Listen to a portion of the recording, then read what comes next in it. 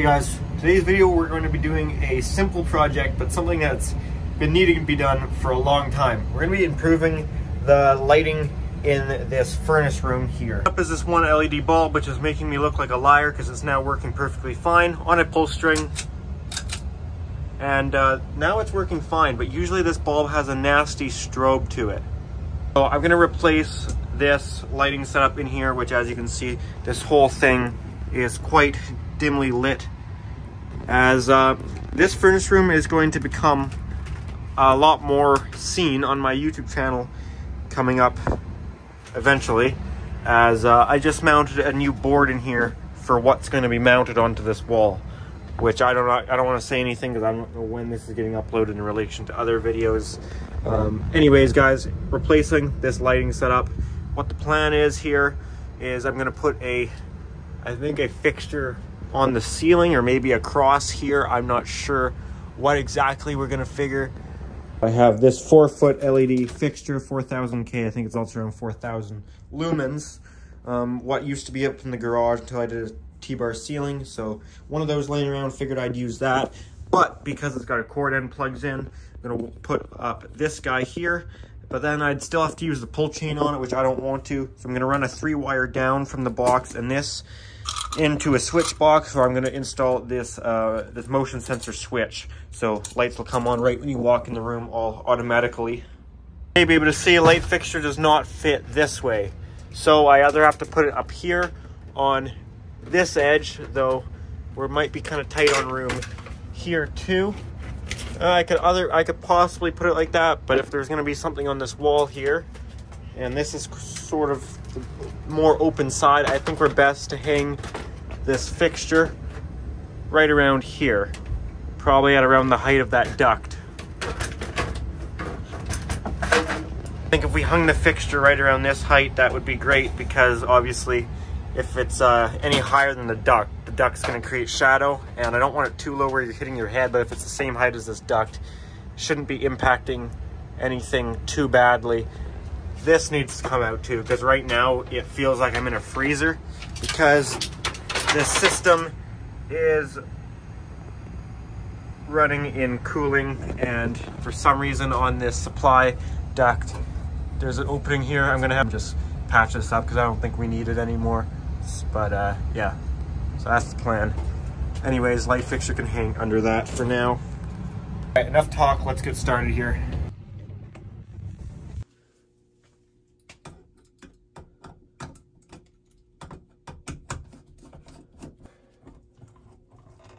could look for the breaker, but we'll be done the job before I find it. Okay, so we have a three wire ran in here, but not capped off or used or anything. Six volts, that's probably just induction from, it's probably just from running parallel with the other hot. So I'm going to first drop down our new uh, 14.3 wire down to our switch location.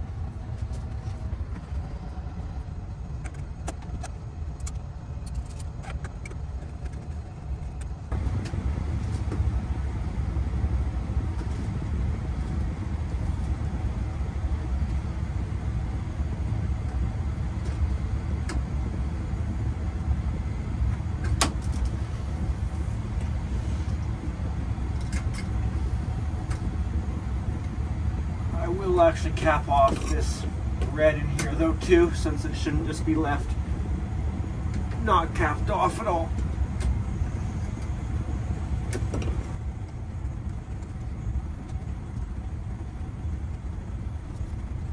This Loomex guy back in there.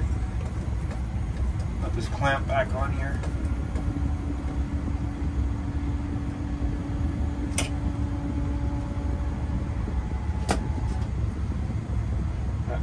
Down to right there. You could just do this with a 14.2. It's been done for many years with just a 14.2. However, if you're installing a switch like this, that's electronic, it will likely require a neutral. And uh, you won't get a neutral if you're using the white and the black in the 14.2, both to carry your hot, one being a switch leg. That's why we run a 14.3 so we can use the black and red. You use black as your power, red as your switch leg, and you still have the white to use as a neutral.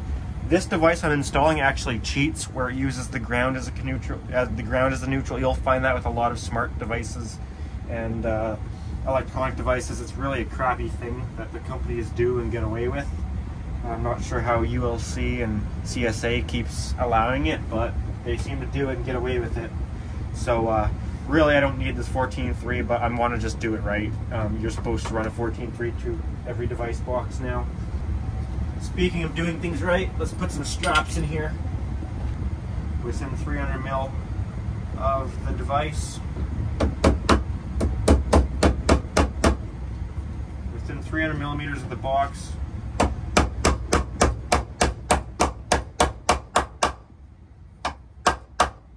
Or 30 centimeters or a foot.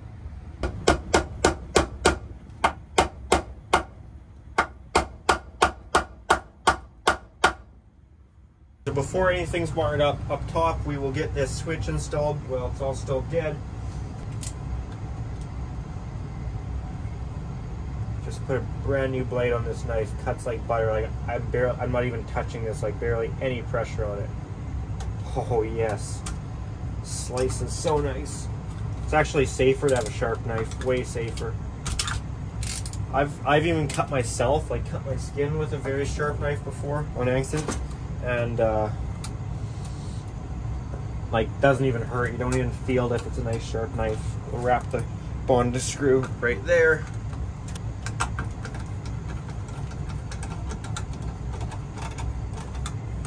There's your box bond.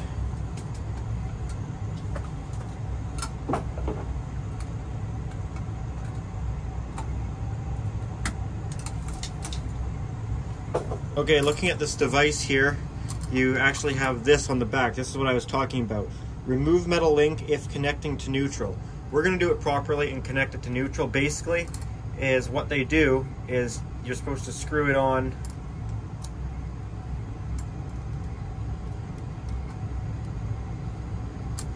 since we are connecting to neutral, we're gonna remove this link so it's basically what it does is it jumpers the neutral terminal out to ground, so we'll actually use the ground as that path back to neutral.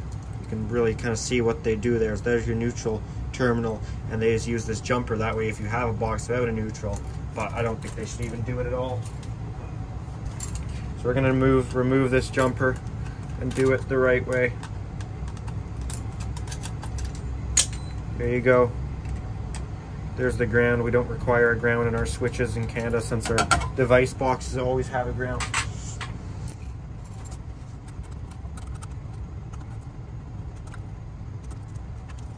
Actually, we need that neutral longer because we got to wrap it around that terminal.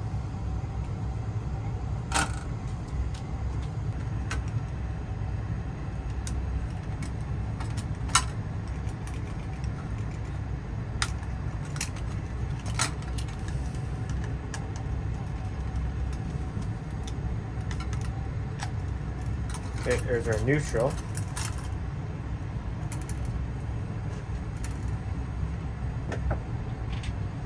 Doesn't say polarity matters, so we're going to assume it doesn't.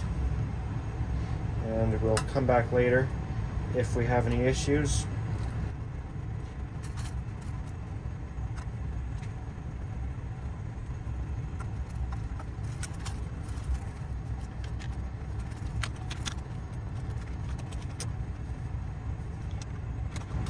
I think they're supposed to go that way. Yes, they are. This one doesn't look like one you can change the settings on, like the timer settings, though they've got these same ones in my school in the original area, and they seem to stay on for quite a while. That's a Philips. Good. It's just a furnace room. I, I don't care. Doesn't need to be that perfect of functionality. it doesn't stay on for that long, whatever.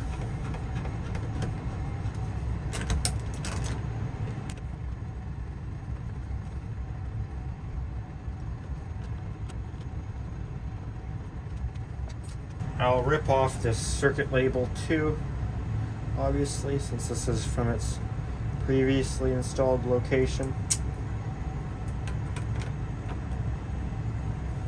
Pretty fancy stainless plate for a furnace room. Living luxury in here.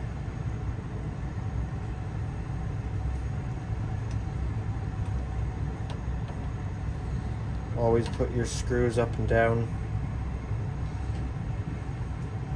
Unless you don't want to and then there's just something wrong with you.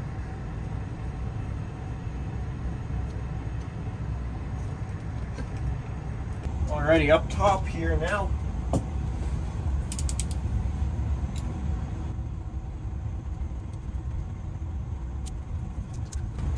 strip back this sheathing here.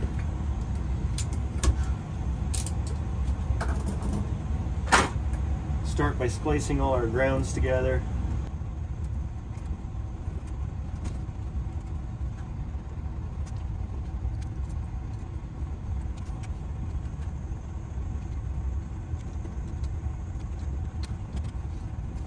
Cap on this red just in case it gets spliced to something somewhere else. You don't want to just hang it out in the box live rather have that capped off. Oh, actually, we're gonna need, I shouldn't have done this. We're gonna need to splice on a pigtail. Okay, I just added on a ground pigtail. Now we need to put all of our neutrals together. So I can cut the neutral off of this guy here.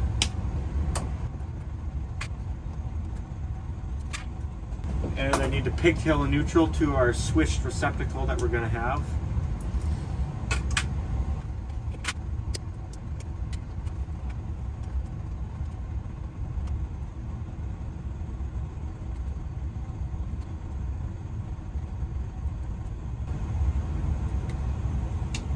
Okay, there's our neutrals spliced up.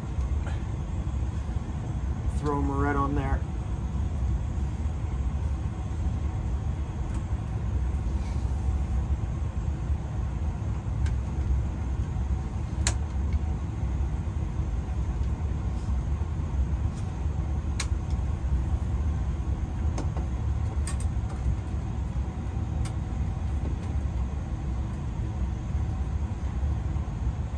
We'll splice our constant hot going down to the switch. We will make our red our switch leg coming back. And this guy will only need to splice up to here.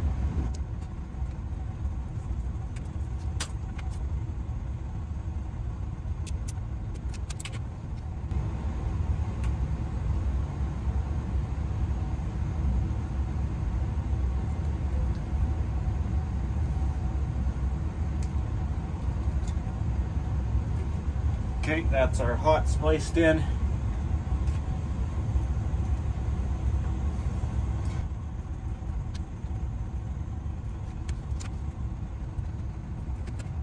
And this guy we actually got to watch out for because it could be hot depending on the switch.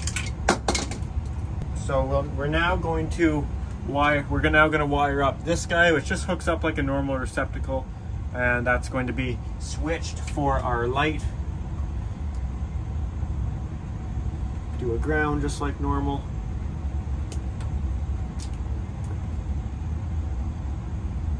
Do up our neutral just like normal.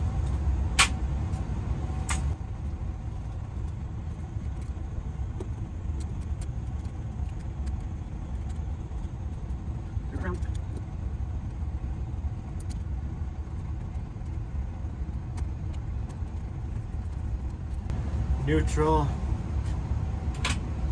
we'll splice up our hot.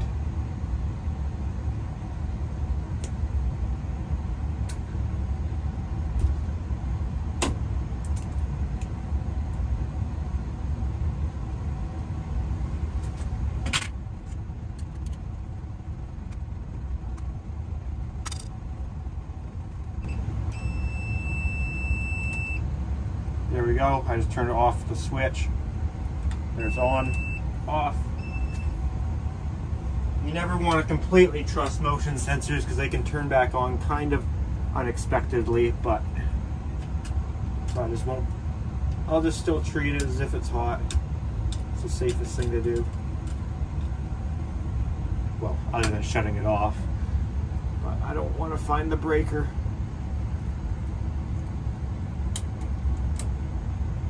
There we go. Even if that was hot, we never shorted the ground or anything, so it would have been fine.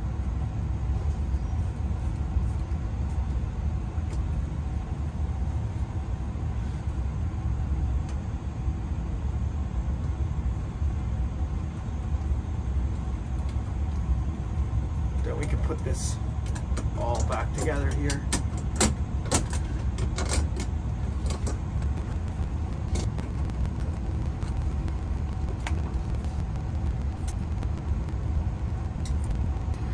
Plug in our light here.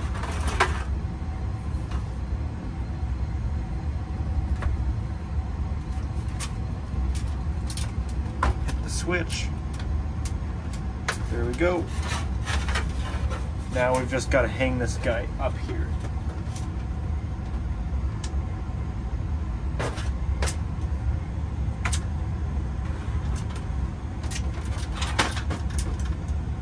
Use aircraft cable to hang this fixture. So I'm gonna make this a tight loop. I'm gonna make this a tight loop so I can put it over this screw head and once it's crimped down it should be nice and tight. Something like that. This isn't the proper crimper obviously, but it'll work fine. There you go, that's one end made up. I'm gonna cut it excessively long for now. And make up another one.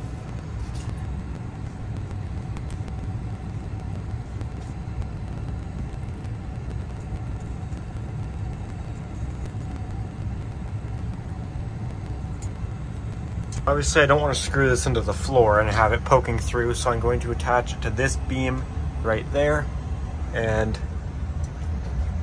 this guy right there. I'm going to find the center between that and the duct and uh, yeah, right here to the center is around 10 and a half inches, so five and a quarter. We will go from there, same on the other side.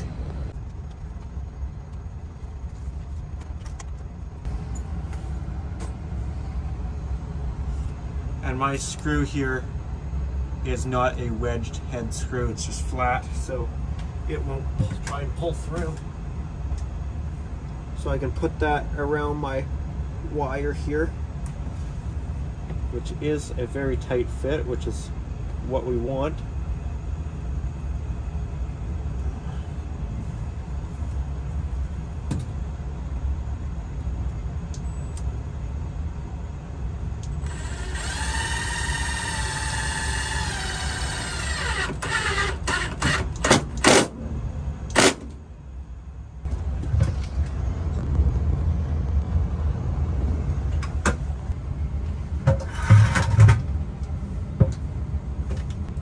Okay, five and a quarter,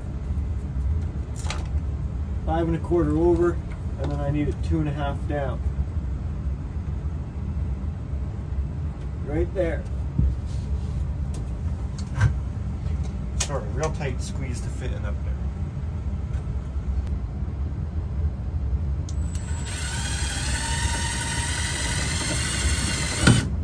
Oh man, this old wood is so tough.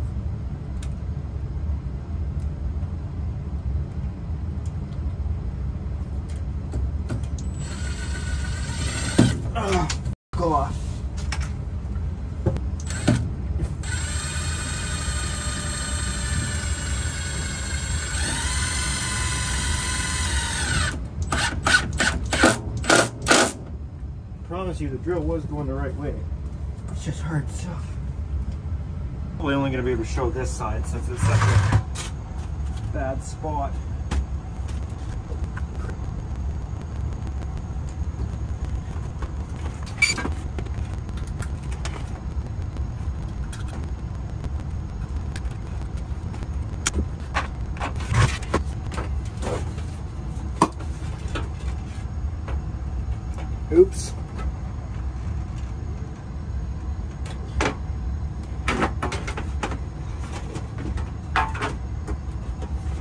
Well, I'll just keep hanging it in the dark.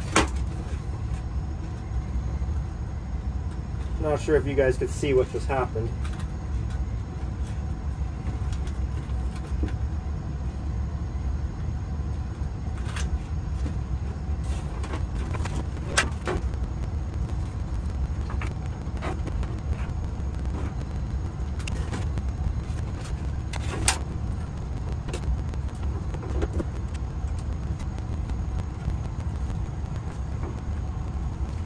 Okay, it didn't actually blow the circuit, but is what happened is uh, the fixture slipped in, in between the prong there and uh, short hit the hot and it also killed that switch. So I'm gonna have to replace that that I just put in.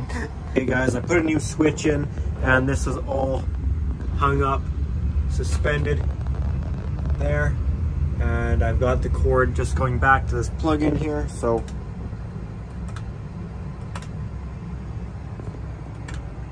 you can see that is now working and this is definitely illuminating this room much much better. It doesn't strobe anymore and it's just better light overall. Definitely much much better.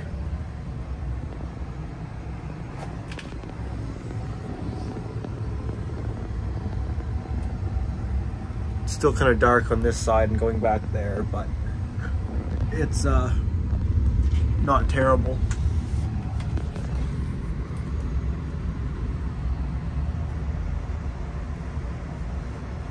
Guys, well I think that about does it for this video. I hope you guys did enjoy it. If you did, make sure to give a thumbs up. If you do have any comments or questions, make sure to put those down in the comment section down below. And if you do enjoy my uh, channel, make sure to subscribe. Also, I do have an Instagram account at Pickle700 for bonus content and stuff posted earlier than you'd see it on YouTube, that sort of thing. Alrighty guys, that's all I got. Thanks for watching.